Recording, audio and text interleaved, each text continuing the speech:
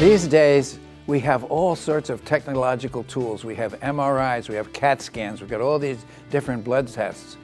What is really the forgotten art is the history and physical.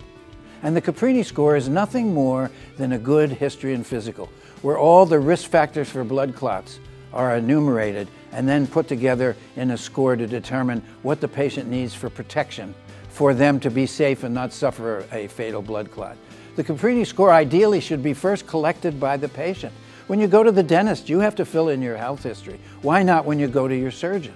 Following that, then you go to the hospital and that, that form can be checked, certain items can be checked, and then that, that can be the initial score. But it's not the end of the road. The Caprini score is dynamic. And as the hospitalization goes along, people oftentimes, unfortunately, develop infection, they need central lines, they get pneumonia, they have to be reoperated. All of those things increase the risk of blood clots. So then by the time you go home, there should be a final tally. And that final tally then used to calculate whether or not you need ongoing anticoagulants for your protection for blood clots, especially during the first month after surgery.